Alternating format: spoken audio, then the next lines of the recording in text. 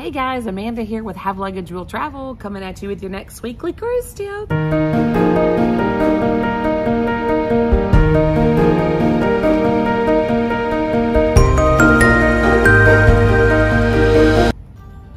right, today, let's dive into a drink package called Bottomless Bubbles. If you don't want to do a drink package at all, let's start here and tell you what you get for free.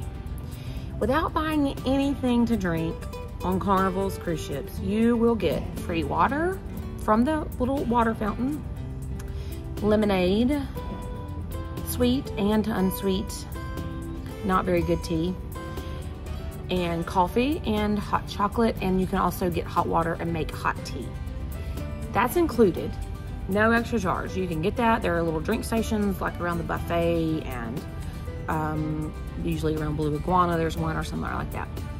Now, if you're a soda drinker and you don't want to bring your own 12 pack aboard, if you're fine with Pepsi products, then you may want to look at the bottomless bubbles package. If not for you, for your kids, if you're bringing your kids. So the price per day is $11.21 for an adult and $8.20 for a kid. That price does include the 18% gratuity that is automatically added.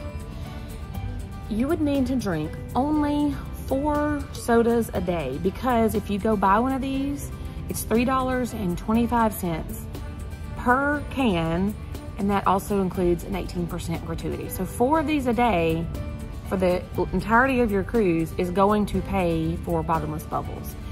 All right, so if you're gonna drink more than four sodas a day, get bottomless bubbles.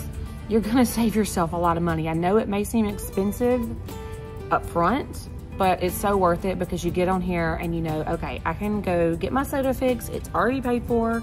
And then when you hit soda number five for the day, especially if you're a kid, then you're like, woohoo, this one's basically free. So is bottomless bubbles worth it?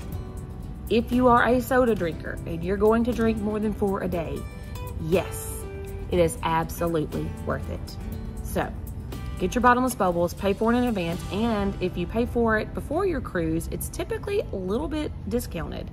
So check that out. Get with your travel agent and let them check it out for you. Or if you do use a Carnival PVP or you book for yourself, whatever you do, check the prices before you get aboard. All right, until next time. If you have luggage, you should be traveling.